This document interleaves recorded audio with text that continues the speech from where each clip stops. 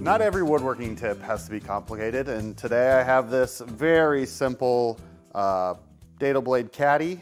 And as you know, most dado blade sets will come with a, a caddy that uh, holds them pretty well. This set happened to come in a cardboard box and it held up for a while, but it got a little disorganized and the cardboard broke down.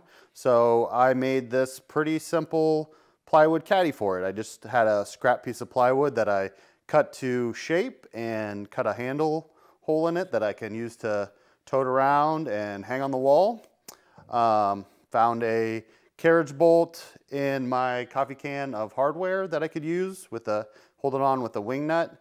The one problem was that this carriage bolt would fall out anytime I loosen this up. So I recessed that in the back and added a little epoxy to hold it in place and holds up pretty nicely now. So um, pretty simple project you could do in a half hour or so and keep your blade uh, safe from getting dinged up and organized. So recommend making this for your dado blade if you need a caddy.